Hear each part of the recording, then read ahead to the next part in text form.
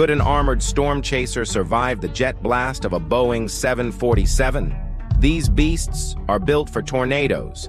10,000 pounds of synthetic armor, 1-inch bulletproof glass, hydraulic panels that drop to the ground, and 40-inch steel spikes that dig into the earth. Basically, the don't mess with me of vehicles. But talk is cheap. Adam got a Boeing 747.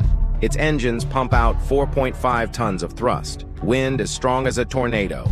First, a regular car behind the engines, gone in seconds, tossed like a toy. Then the armored trucks rolled in, parked 175 feet back, all defenses up.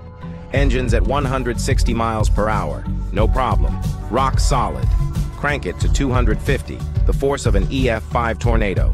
For 15 seconds, both held firm, until the red truck started sliding back.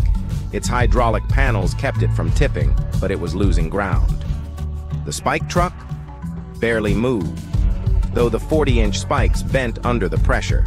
Still, both proved they could protect you in EF5 level winds.